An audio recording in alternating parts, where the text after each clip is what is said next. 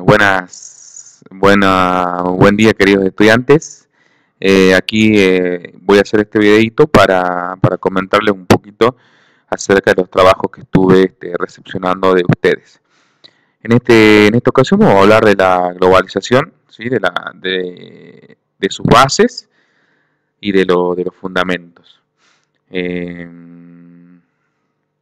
yo elegí este, este, este esquema que tenemos aquí, este, porque me pareció, digamos, que está bastante sintético y está, está, está completo, ¿sí? Eh, nosotros, eh, al hablar de globalización, nosotros decimos que es, no sé si, no me acuerdo si llegamos a hablar de esto nosotros, pero vamos a decir que es un, un fenómeno multidimensional, ¿sí? Porque nosotros vamos a poder ver como dice acá, vamos a poner a, analizar los, efectos de la globalización en cuanto a la tecnología, en lo económico, en lo cultural, en lo político, institucional y en lo, físico, ambiental, ¿sí? Es decir, se dice que es un concepto multidimensional porque este, abarca eh, muchísimas de las dimensiones que tiene el ser humano. Este, acá veo también que hablan, fíjense, cuando habla acerca del, del, origen, vendría a ser, digamos, de, la globalización, eh, diferentes autores van planteando, digamos, el, el, proceso de globalización.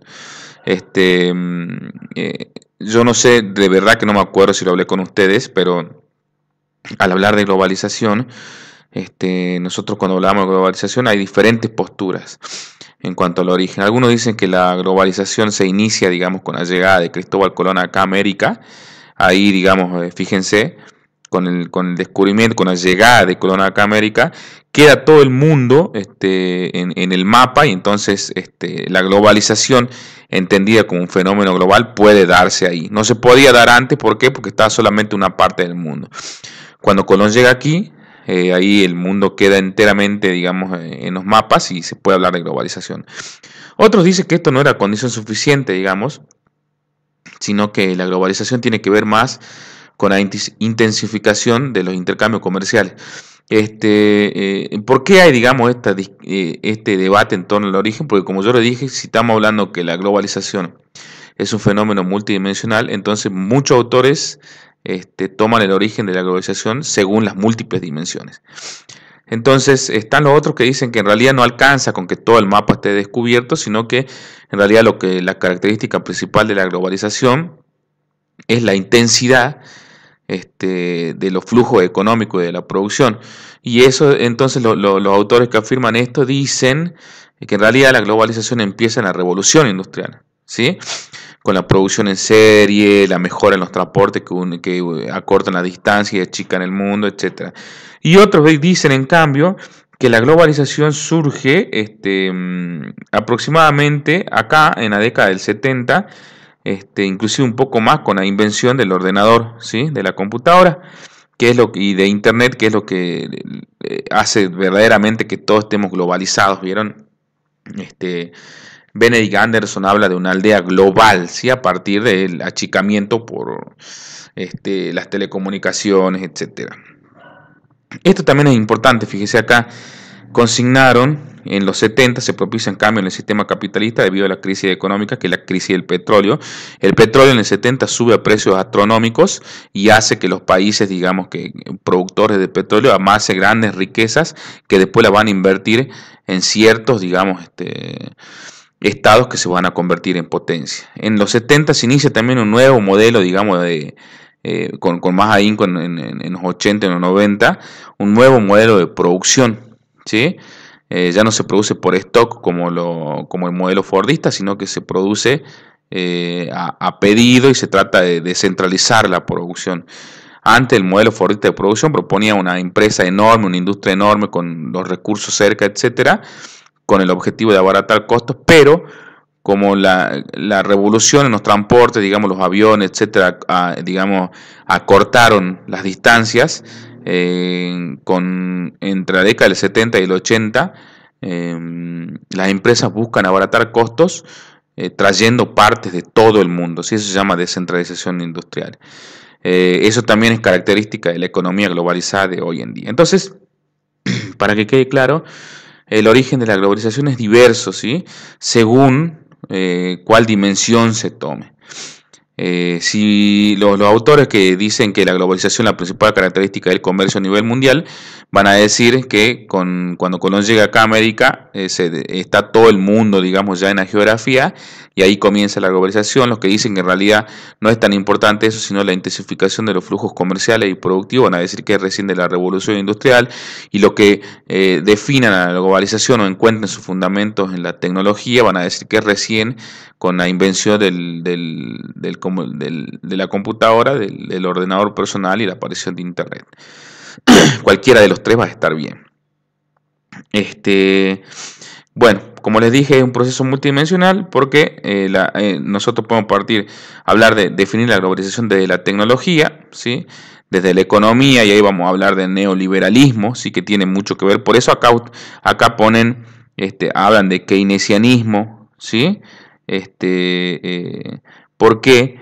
Porque el, keynesianismo, que digamos esta ideología que dice que el Estado debe intervenir en economía en contra del liberalismo, de lo que plantea el liberalismo, este, van a ser, digamos, este, frente a una de las tantas crisis del capitalismo. Eh, y este Estado keynesiano hoy en día va, a atentar con contra, contra la globalización, ¿sí? Este, pero con, con, esta nueva pandemia nosotros estamos volviendo al proteccionismo estatal. La globalización va contra el Estado keynesiano, el Estado que interviene en la economía. Un ejemplo que en Argentina nosotros lo vamos a tener con el peronismo, ¿sí? el Estado que interviene en educación, salud, economía, este, un Estado que no deja todo librado a la fuerza del, del mercado. Hoy en día los Estados están, eh, este tipo de Estado eh, keynesiano o intervencionista, está muy en boga por la pandemia que estamos teniendo hoy. Por eso, hoy fíjense, Google en trabajo, etcétera, ya se habla de movimientos y de instituciones, que es lo más importante, anticapitalista, anti, antiglobalización. ¿sí?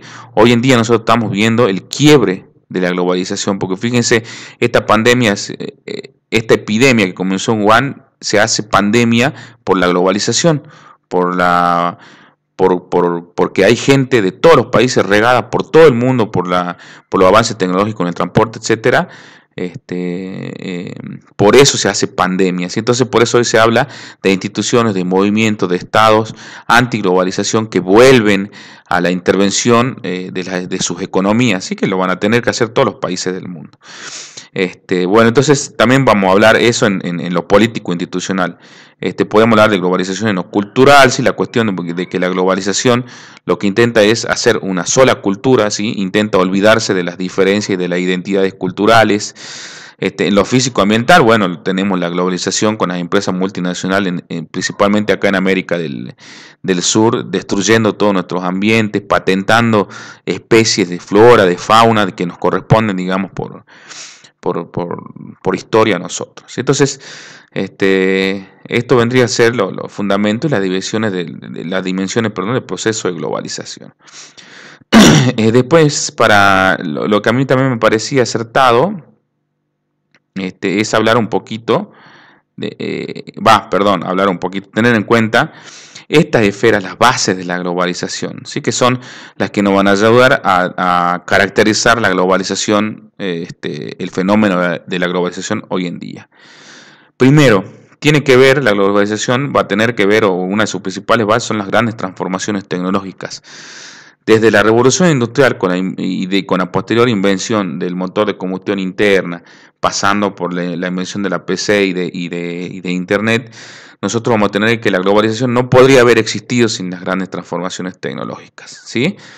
Todas estas bases, todas estas bases que están acá, estas cinco bases van a tener sus pros y sus contras. Ustedes saben que eh, las grandes transformaciones tecnológicas nos ayudaron a cortar las distancias, a comunicarnos mucho mejor, pero también fueron este, sumamente perjudiciales, por ejemplo, con, la emanación de gases de dióxido de carbono que tiene motor de combustión interna. Ahora salieron mapas bien curiosos, si pueden ustedes googlear, fíjense de las emanaciones de dióxido de carbono en China y en Italia, bajaron casi a cero y se lo ve que, digamos, eh, con, fotos de, satelitales e infrarrojas, la mancha roja ya no se ve. Entonces todo tiene lo bueno y lo malo.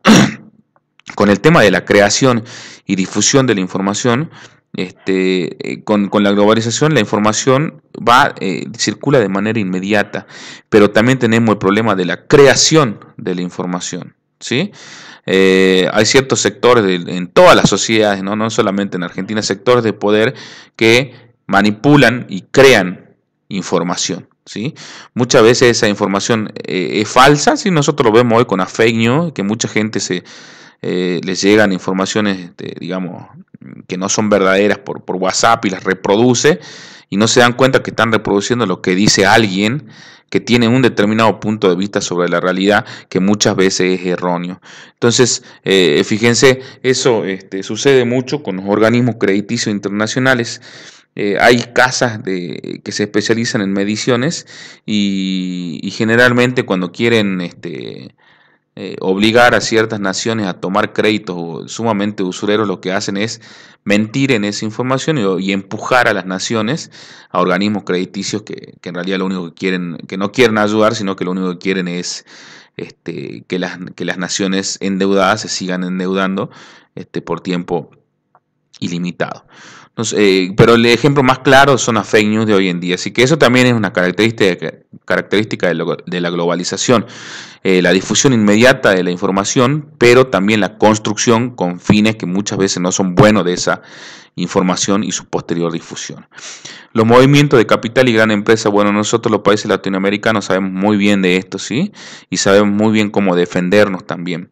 Este, a partir de la revolución industrial se empezaron a construir lo que nosotros vamos a conocer como trust, como holds, eh, como holding, perdón, que son grandes conglomerados de empresas que buscan eh, regular la oferta y la demanda a su favor en el mercado. ¿sí? Entonces, junto con, el movimiento de capital y la gran empresa aparece también la manipulación del mercado por parte de las grandes empresas. Ese, ese vendría a ser la parte mala. Este, también es verdad, digamos, que eh, las empresas, las pymes y, algunas de las grandes empresas son este, por ahí el único sostén que tienen los países desarrollados y en, vías de desarrollo. No, con esto no hay que demonizar a las pymes y a, las empresas, sino que hay que tener cuidado porque no todas las empresas este, tratan de la misma manera sus recursos, los recursos naturales, los recursos humanos, etcétera. Después tenemos eh, otra, eh, digamos, base como la intensificación de los intercambios de bienes y servicios. Eso también, digamos, eso se dio, eh, o eso yo pondría como consecuencia de la globalización, ¿sí? fíjense, sin, sin, ir, más lejos, yo necesitaba, se me rompió el monitor en esto, aunque no lo crean, se me rompió el monitor hace una semana y pedí un monitor por Mercado Libre y me llegó hace tres días acá a la puerta de mi casa. fíjense, con pandemia y todo, la intensificación, el intercambio de bienes es este, sigue siendo efectiva, digamos. Pero también tiene contraproducente esto que se eliminan, digamos, eh, pequeña y mediana industria o, están en jaque las economías regionales con este intercambio tan inmediato. Porque, por ejemplo, yo podría haber ido a comprar este monitor si no estuviéramos en, cuarentena. Eh, al centro, en alguna, en alguna otra casa, digamos, no, de las grandes, Gabarinos, Frávega, sino en alguna casa de computación de acá de Salta, para favorecer la economía regional, pero sin embargo conseguir el producto y sin salir de mi casa me llegó acá a la puerta de mi casa los tres días. Mucho más cómodo, pero la ruina de la economía local, la, y yo pondría esta última base que dice acá la configuración de un mundo desigual, la pondría como el resultado de estas cuatro. Estas cuatro características de la globalización, si bien tienen buenas este, eh, aristas que son buenas, pero eh, generalmente siempre nos llevamos la peor parte de los países subdesarrollados o en vías de desarrollo. Esto termina configurando un mundo desigual, ¿sí?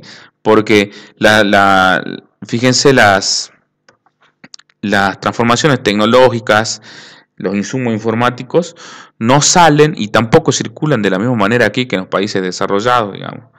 Eh, eh, la creación de la difusión, eh, de, la información, este, los movimientos de gran capital, la intensificación de los intercambios, tampoco se da de una manera equitativa en los países desarrollados y en los países subdesarrollados. Es como que la globalización funciona mejor en los países centrales y en las periferias se va debilitando, ¿sí? O eh, nosotros asistimos a lo, que se va a conocer en geografía como la modernización selectiva, ¿sí? Eh, la globalización es algo para todos, pero deja excluido a mucha parte del mundo. Yo siempre pongo el mismo ejemplo de los países que están por abajo del Sahara, del África subsahariana, este, mientras aquí, digamos, mientras yo acá me estaba haciendo mala sangre, digamos, porque no tenía un, un, monitor, este, en el África subsahariana eh, la gente no tiene agua potable, por ejemplo. Entonces, eh, la globalización no se da con la misma intensidad en todos los, lugares de la Tierra. Bueno, espero que esto les haya servido de algo, chicos. De verdad, este, eh, extraño, la verdad, estar en una institución este, construyendo el aprendizaje, porque si bien esto facilita, pero nunca va a ser lo mismo, digamos. Nunca, nunca va a ser lo mismo porque el feedback que podemos tener mediante un celular no va a ser el mismo que con el que esté, eh, digamos, que, que esté yo este, en clase con ustedes, porque además no hablamos solamente de esto, sino que hablamos de otras cosas, digamos, que tienen que ver con la tarea docente. No, no, sé, para mí es mucho más rico lo presencial. Este, yo les dejo un link, este, le voy a pasar un link a su compañero para que se los pase a ustedes. Eh, en donde se, es un instructivo para hacer red y cuadros conceptuales, que lo hice para otro colegio, pero que les sirve este, para ustedes también. Eh, si me llegaron los trabajos al correo, no se preocupen, se ve que, les envié mi, correo mal.